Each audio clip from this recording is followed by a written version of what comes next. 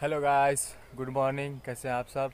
हम बढ़िया हैं, आप लोग भी बढ़िया होंगे। ये देखिए मेरा बगीचा है, पूरा बगीचा यहाँ से, वहाँ तक पूरा बगीचा लगा हुआ है। अभी सुबह सुबह का मौसम आपको दिखा रहे हैं। और ये देखिए अमरूद का गाछ है। अमरूद फड़ा है इसमें, आपको दिखाते हैं पूरा अपना खेत। ये देखिए सरसों का खेती हो रहा है।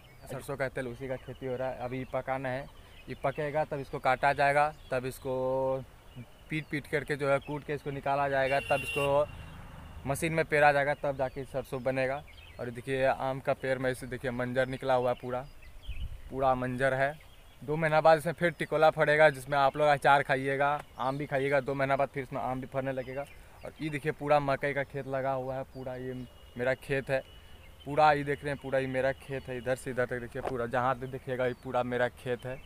अब सुबह सुबह का मौसम हो रहा है तो सुबह के सात बज रहा है, आप लोग को पूरा दिखा रहे हैं एकदम यहाँ का नज़ारा।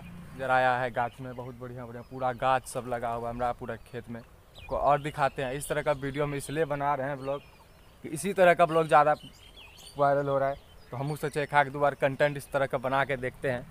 वायरल हो गया तो बहुत बढ़िया, और हम भी चाहते हैं कि इसी तरह का कंटेंट वायरल हो, ताकि इसी तरह का यूट्यूब वायरल करवा रहा हम मेहनत उतना करते हैं तो नहीं होता, इसी तरह हम भी सोचे बना लेते हैं। वायरल हो गया तो हमारे लिए बहुत तो बढ़िया है। और देखिए, ये पूरा इधर देख सकते हैं, इधर पूरा अभी बगीचा उधर भी लगा चाहिए देखिए। इसमें नींबू फड़ा है, अंदर में बहुत सारा।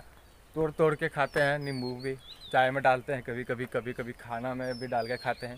पूरा ये सब देखिए, पूरा है।